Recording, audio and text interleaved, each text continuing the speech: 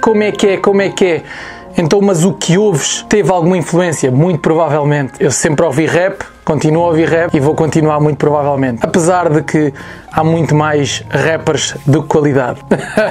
não me levem a mal. Eu vim falar um bocado da minha influência de rap. É importante passar para, para alguns porque hoje em dia uh, são muito novos os que estão a ouvir rap. Não é que eu seja tipo a antiguidade do rap e que eu preciso, uh, perceba bué de rap, mas é necessário passar essa cena para o pessoal. E às vezes, quanto mais influência uh, positiva, influência mais antiga, mais original tu tens, provavelmente o que tu vais ouvir e o que vais procurar é melhor. Quando eu digo melhor, de qualidade é, tem a ver com as origens do rap, etc., a cena de intervenção e coisas do género. Eu hoje, óbvio, como maior parte do, do pessoal abriu um bocado os seus horizontes e ouço todo o tipo de rap. O pessoal fala só em boom bap e trap e não sei o que, tipo, só se para. Mas na verdade não, não ligo muito a isso, tipo, há boa música e má música e pronto. E eu, como consumidor de rap, eu sou um bocado injusto. Eu sou um gajo tipo, não vai muito a concertos. Quando dá, eu vou. A única cena que eu faço pelo rap, a não ser divulgação, que até podia divulgar mais o pessoal que eu, que eu ouço, com o Sem Truques já divulguei bem da rap e por aí fora. Vocês sabem. Como muitos, eu pago o Spotify, então já é uma grande ajuda. eu próprio tento que toda a gente à minha volta ouça rap. Tipo, tens que ouvir rap. Minha mãe, meu pai. eu sempre influencio as pessoas a ouvir rap porque é muito rico, é das músicas mais ricas. Já ouvi outro tipo de músicas, mas não vou estar aqui com cenas a, a dizer o rap é o melhor, mas para mim é o que eu ouço, por isso eu não posso dizer, então não vou por aí. E yeah, ainda por cima eu não comparo rappers. Dá para dizer, ah, este é melhor que aquele, mas não é em cena de comparação. Por exemplo, um tem mais inteligência, outro tem mais flow, outro é mais não sei o quê, outro é mais. Então não há como comparar. É comparar o Cristiano Ronaldo ou Messi. Tipo, um é assim, o outro é assim. Óbvio que tens a tua preferência, mas comparar é meio estranho isso. Eu acho que o primeiro rapper que eu ouvi foi o Bossa AC. E acho que foi em 2002 que eu comecei a ouvir rap.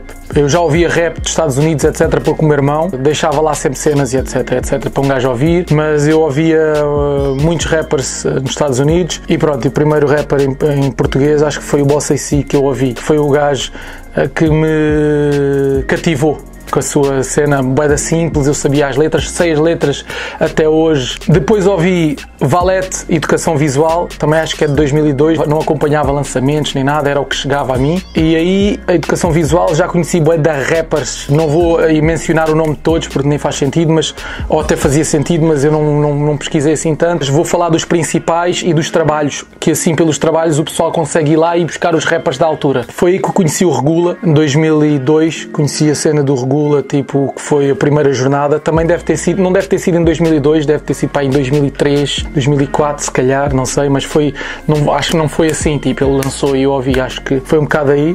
Conheci também bem das cenas depois ouvi a cena do Samu, sobretudo, acho que foi reeditado, porque era de, 2000, era de 99 e ele meteu em 2004 reeditado. Eu não sabia disso, por acaso, na altura, agora sei, né? Eu tipo ouvia o que foi mudado ali, tipo, toma lá. Depois, uh, serviço público do Valete, boi da rappers que conheces ali, boi da skills, o serviço público, acho que, ok, que o Valete era o Valete, e é o Valete, mas ali vês que há alguns que se calhar até superam o Valete em, em, em algumas dicas, estás a ver? Ali estavam todos tipo ao mesmo nível, é uma cena tipo realmente é incrível. Mesmo aqueles rappers que tu talvez consideres mais fracos e que não tenham tanto, sei lá, tanta. Não vou dizer inteligência, mas, mas o rap deles é mais complexo. Uh, há uns que são muito mais simples e tipo, tu vês tipo as dicas, subentendido, duplos sentidos e cenas naquela altura já era incrível. Não sei porque é que eu fiz.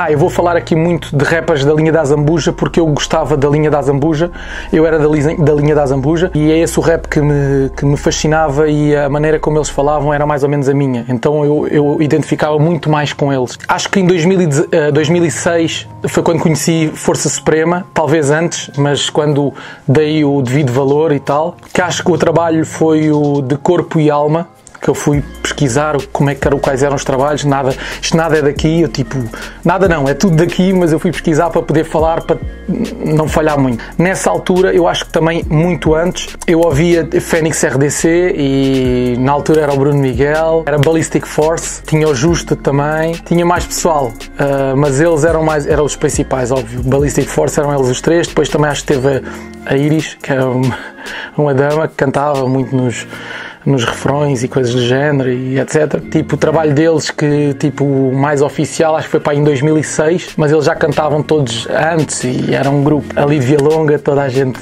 conhece, uh, tipo Junior Mafia Ballistic Force e cenas assim, que também influenciou bué da gente ali, bué da gente mesmo. Por mais que não tenha tido aquele buzz uh, Ballistic Force, mas ali muita gente se influenciou, as damas todas da escola ouviam aqueles sons tipo mais, mais love, era aquela cena que tipo Força Suprema fazia, mas eles vieram meter um, um degrau acima, aquela cena meio love, gangsta love, e depois veio Força Suprema uh, ainda com mais força porque começaram a bater muito nessa tecla de gangsta love. Entretanto, o Ballistic Force uh, foi-se dissolvendo, digamos, foi-se e depois surgiu o Fênix RDC, foram se separando, o Bruno Miguel continuou a fazer cenas o, com o Fênix e etc. Mas vocês sabem mais ou menos o caminho, é só. Mas pronto, foram minhas influências, eu queria ser gangsta igual a eles. E para mim, o Tira Teimas do Regula, que foi em 2005, acho eu, pelo que eu pesquisei, foi o que me fez, tipo, dizer assim: eu só vou ouvir, rap na minha vida, tipo, isto é, é uma cena muito à frente. Tira Teimas é bué, tem bué pouco featuring, digamos, muita gente no álbum, está muito ele, está muito introspectivo,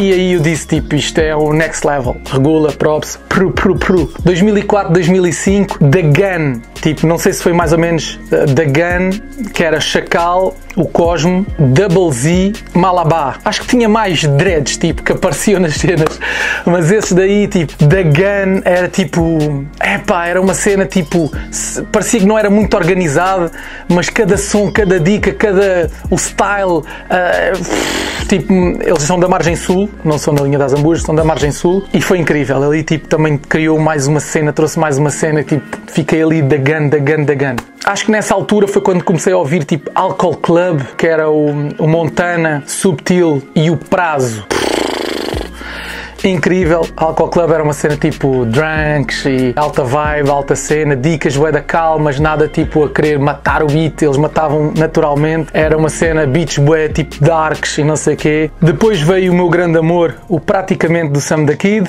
que não sei quando é que foi. Já não sei, 2006, sei lá, não sei quando é que foi. E o praticamente tipo veio meter uma, uma fasquia muito alta no rap. Podem vir dizer muita coisa, ah, blá blá blá, para passar aquilo tinha que ser muito. Nessa mesma altura uh, conheci, nessa mesma altura não, também acho que foi um bocado antes, Show No Love. Show No Love, man, do Catuja, Catejal, aquela cena ali, linha da Zabuja, vieram trazer grande força ao rap daquela zona. Na altura que o pessoal mais conheceu foi quando no, no cara Davis, Lisa Chu e essas cenas, a maior parte do povo conheceu tipo uh, o Zuka, El Loco, uh, o Holly, o, o, Hollywood, que já toda a gente Hollywood, e o Nine Mila e não sei o quê. Nine Mila não, acho que esquece.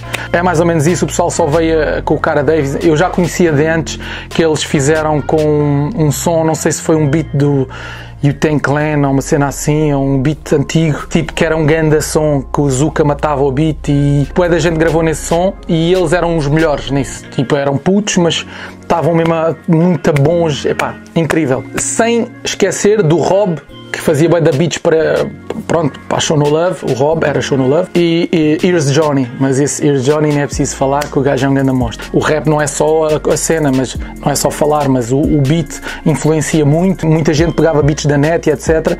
E quando alguém começou a fazer beats e tu dizias, what the fuck, este gajo faz beats da Tuga, meu, tipo, claro que já conhecíamos o Sam e não sei o quê, mas acho que o Rob e Ears Johnny, é tipo aquela cena, tipo, vieram com beats com uma identidade da Tuga. Acho que nessa altura não sei se foi nessa altura, mas caga nisso, é mais uma influência. Halloween, o trabalho dele, o primeiro, uh, Mary Witch, o que é que é? Acho eu, não sei, não sei como é que é o nome, que agora esse eu não fui pesquisar porque já tinha aqui. E ele tipo revolucionou uh, uma parte do, do dark rap, uh, underground shit para ser ouvido. Porque muita gente até que ouve Halloween, não, o estilo dele a primeira vez, pff, quando tu mostras o Halloween a alguém, a pessoa vai dizer, Ei, tira isso, tira isso, tira isso. A partida não é bonito mas se tu ouvires Halloween é impossível ficares indiferente. Foi o primeiro, acho eu, não sei se foi o primeiro, mas a fazer um som tipo de, acho que era 13 minutos, não sei se era 13 minutos ou 9 minutos ou 8 minutos, mas era bem da grande o som. Mas o gajo é muito bom, é muito simples e o pessoal identifica-se bem com ele porque é a cena tipo linguagem de bairro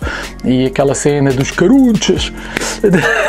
Para acabar o vídeo, em 2013, penso que o gancho do Regula veio revolucionar ainda mais em ter um next level do rap, também temos que, que dar um props à Força Suprema e a tipo NGAs e etc. Realmente eles tipo meteram next level, tipo disseram aos, ao rap tipo, é possível fazer rap com beats muito mais coisas, com dicas muito mais uh, suegadas e cenas assim. E, e, não é por causa disso que és um vendido e etc, etc, etc.